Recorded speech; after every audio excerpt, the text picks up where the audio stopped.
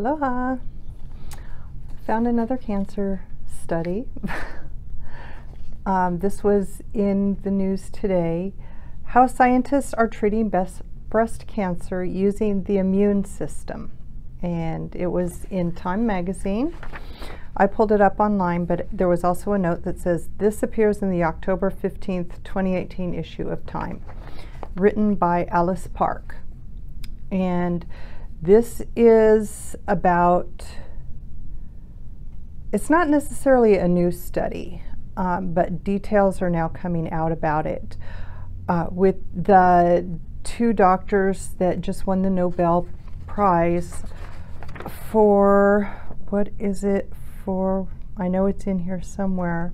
It was Allison, um, James Allison, and Tasuku Honjo uh, they did the work starting back in the 90s, and they just won this year's Nobel Prize for the work, um, which is to have cancer cells attacked with, um, how do you say it? The, um, the independently discovered different ways in which the immune system is blocked from attacking tumor cells. And so this is using our own cells. Oh, sorry, I'm hitting the microphone. I forgot that I had that on. it's new. Um, so this is about how they're using immunology now to, you know, they they develop something for your own system to attack the cancer cells. And so this is really, really interesting. Um, and let's see, so it says a completely new way of fighting breast cancer, not solely with chemotherapy, radiation, or surgery, but by harnessing the power of your own immune system, which would be nice.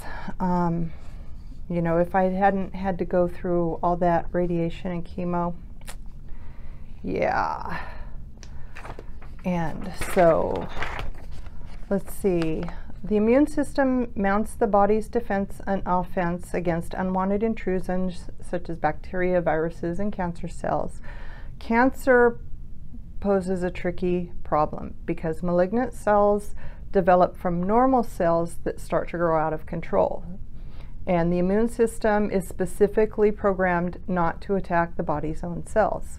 So, malignant cells are just our own cells, which our own body has said, you know, no, that's your cell, we're not going to attack it. So now scientists are looking into ways to restrain that and for the, um, the immune system to recognize and destroy the tumor cells that develop. And so Let's see, the first of these immunotherapy drugs approved to treat cancer began in the labs of James Allison of MDM Cancer, or MD Anderson Cancer Center and Dr. Tasuku Hanju, Honjo sorry, of Kyoto University in the 1990s. And um, they actually, they worked independently. They didn't um, co-author anything. Um, so, and that led to their Nobel Prize this year. And it also, it, because it led to a new class of drugs called checkpoint inhibitors that allow the immune system to see cancer cells as the disease-causing rogues they are and attack them, drastically improving remission rates. In the past five years, the FDA has approved a dozen new cancer drugs and therapies that exploit the immune system. Why didn't I get one? I mean, I'm stage one. I, I was like, you know, I have, it seems like I was one of the easiest cancer patients there is. You know, I had the least amount of problems, really. I mean, if you think about it, you know, stage one, HR negative, blah, blah, blah, blah, blah. It's like one of the easiest, can- uh, easiest breast cancers and I still had to go through all this crap. Why didn't I just get this? Probably because sure insurance doesn't cover it. I, I'm guessing there's nothing in here about insurance, but I'm guessing insurance doesn't cover crap like this. All cancer patients will likely receive immunotherapy in five years. Uh huh. so it will do somebody some good, and that's a good thing. Okay. Immunotherapy treatments are especially effective against lung cancer, skin cancer, and blood cancers like leukemia and lymphoma. But immune based treatments have not been as successful or as plentiful for the most common cancers, such as colon, prostate, and especially breast cancer. And these are because um,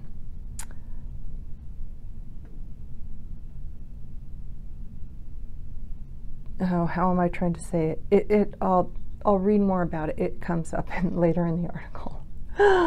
um, of the more than 600,000 people who died of cancer in the U.S. in the past year, the vast majority of these types had solid cancers. Okay, that's what I was trying to think of. Solid cancers. So colon colon cancer, prostate cancer, breast cancer, those are solid cancers. That's where you get a lump. Um, when you have leukemia, lymphoma, skin cancer, those are more blood disorders. Um, or they're, you know, they're cell disorders. They're blood and skin, you know. So that's why the immune system can go back and attack them more easily than it can the lump. Okay, so then um, Dr. Robert Vonderheide, director of the Abramson Cancer Center at the University of Pennsylvania, most cancers fit into a category we call cold immunological tumors, meaning the tumor has the ability to either exclude the immune system or hide from it altogether. That kind of cancer isn't easily treated with current immunotherapies. So that would be breast cancer. Um, and then it says at least not yet because they're working on it. um, they're trying to find ways to stimulate the immune system to see tumors like breast cancer as hot rather than cold. And they're going back to learn from other diseases that we've treated, I don't want to say cured, but we've treated, um, such as tuberculosis and HIV, and look at how we've dealt with those drugs for potentially treating um, the, the cold cancers. Um, cold cancer? Yeah, cold cancer. Um, and then it says, uh, sorry, my nose has been running. Um, while chemotherapy and radiation in their current forms destroy immune cells along with malignant ones, modified formulas may be just enough to stimulate an inflammatory response that awakens the immune system to see the tumor cells. So what they're working on basically is like you might have one chemo, sorry, one chemo session, um, one or two radiation sessions, and that kind of like gets the the cancer cells going, ooh, wait, ooh, they kind of pop out. And then you can hit them with the immune system um, stuff. But, or, yeah, because they kind of go inflammatory, you know, you know, when you hit them with the chemo and the radiation. So rather than going four, six, eight chemotherapies and then doing four or six weeks every day of radiation, you're way cutting it down. And when you think about all the side effects, the side effects aren't of the cancer, the side effects are of the treatments. So that's a, a drastic cut. You know, I mean, that's a drastic improvement in your life while you're going through cancer treatment. Um, so the woman that they interviewed for this article, Kathy James, she had, um, it started with a marble sized lump in her left breast, and um, it turned out to be metastatic breast cancer. And so she went through this, you know, she this was back in 2017 and she was in the test to do this. Um, let's see, where was I on here? And so with her, um, she said because her cancer tends to recur and because it's aggressive, she couldn't just stop, you know, like do one year of treatment, you know, do the one round of treatment, take some pills for a year or two, and then she would be done. Um, you know, she had to keep watching, keep going. But with the um, immunotherapy treatment, she didn't have to do as much. And um, her her cancer is what did they call it? They called it something strange that I had never heard. Um,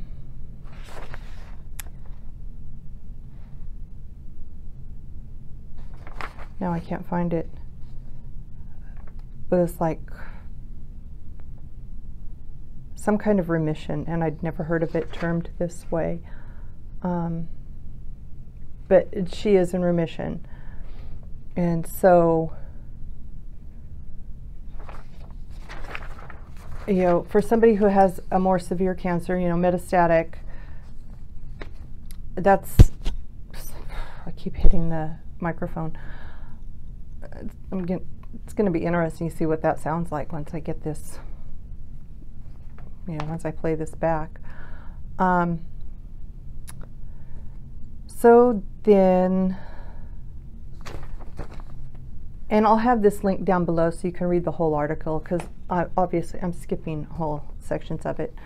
Um, okay, so solid cancers like breast cancer are more common, but they have fewer mu mutations and the tissues they invade, such as in the breast, can't be replaced like blood cells. So, you know, once you destroy a blood cell, it recreates itself. You know, the, the blood goes, oh, hey, you know, we lost somebody, let's make more. Um, but breast tissue doesn't do that. You remove breast tissue, you've got a hole in your breast. And so, um, let's see, breast cancers fell in at the bottom 25% of tumors when it came to how many mutations they carried. I don't really, I, I, I don't know exactly, but um, but because of that, breast cancers are also part of the bottom half of all cancers when it comes to immune responses the body generates against them. Breast cancer notoriously shields itself from the immune system, which is why it is one of the harder to treat with this new immune immunotherapy. Okay, now I'm going to quote directly through this whole thing because I found this, this whole couple of paragraphs were interesting. Okay, now Rosenberg, and Rosenberg is, let me go back, um, do, do, do, do, do, to make sure that I am quoting the right person because I want to give credit where credit is due. Okay, Dr. Steven Rosenberg, the National Cancer Institute Chief of Surgery. Okay. So now Rosenberg is exploring ways to unlock breast cancer to the possibilities of immunotherapy.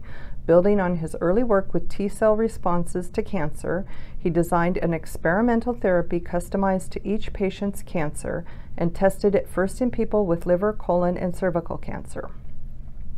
The first breast cancer patient in his study, Judy Perkins, had stage 4 cancer that had recurred and spread to lumps in her chest and to her liver despite a dozen chemotherapy and hormone treatments, treatments and even a mastectomy. Tapping into the growing knowledge of how genes drive cancer, Rosenberg did a thorough genetic analysis of her tumor and found 62 major mutations responsible for turning Perkins cells malignant. He then searched for the valiant few, uh, valiant, valiant few immune cells that could recognize and attack four of those genetic aberrations and were already battling her cancer. He extracted those immune cells, grew them in larger numbers in the lab, and returned them to Perkins via IV um, IV, IV, you know, like stick a needle in your arm, as an immune based treatment against her breast cancer. Having exhausted all of her treatment options, Perkins had said her goodbyes to loved ones and was waiting for the end. But within a month of receiving the one time infusion of cells, she felt the tumor in her chest get softer and smaller.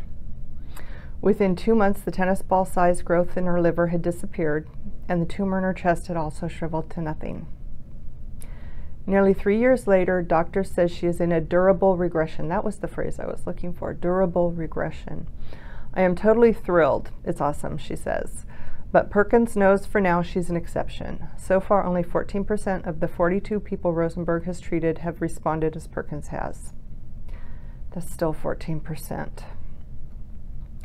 Rosenberg believes that percentage will increase if he and others find better ways to pinpoint both the mutations behind each patient's cancer and the population of immune cells targeted against them. As that science evolves, it could bring immunotherapy to not just those with breast cancer, but those with other solid tumors as well. This could basically be a blueprint for the treatment of any cancer type, he says, and I frankly think that it's got a good chance of working. And I don't know why why they aren't doing more with this.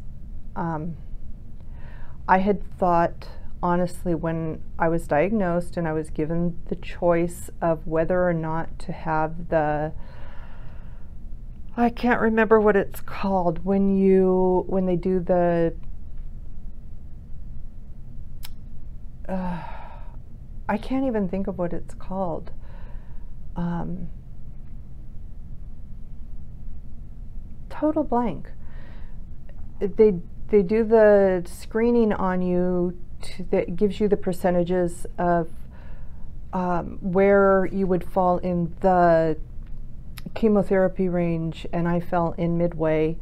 Um, you know, there because you know if like if you fall at the far end, then they tell you you should have chemo. If you fall at the lighter end, they say you really don't need chemo. And I fell right in the middle and I honestly, I honestly thought that that also that little test chart thing that they did, I also thought part of that was to help pinpoint which treatment would be best for me. I thought they did genetic testing for that, and apparently they do not. And so, you know, I've heard of the genetic testing, the genetic stuff before, um, but because I didn't have cancer and I wasn't way into all of this stuff, it just kind of went by me. And so now that I'm more invested in it, you know, it's sticking a little bit better. Um, but it's something to ask your doctor about if you're if you're freshly diagnosed.